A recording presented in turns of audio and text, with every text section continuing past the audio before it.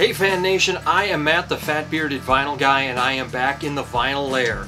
Today I am spinning one of my favorite live records, Johnny Cash at San Quentin.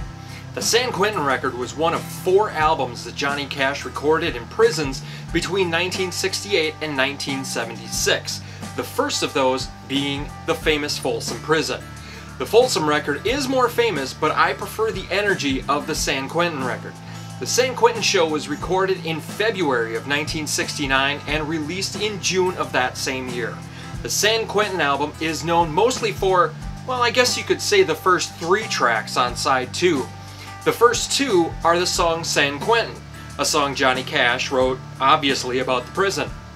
He decided to play it twice because the inmates in attendance wanted him to play it again.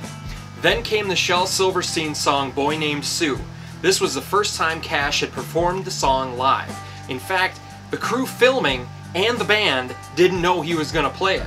Cash had the lyric sheet in front of him while Carl Perkins and the Tennessee Two improvised the rest behind him. The San Quentin performance also produced possibly the most famous picture of Johnny Cash, the one with his middle finger extended. There are two conflicting stories. One from Cash himself saying he was frustrated with the camera crew blocking his view of the audience, and there was another from the photographer Jim Marshall, who said it was taken during a rehearsal. Considering that he's not wearing his iconic black suit, I'll have to side with the photographer here. That's all for now. For more music talk and vinyl shenanigans, go to fatbeardedvinylguy.com. You'll find links to my social media, Facebook and Instagram, as well as the new YouTube channel.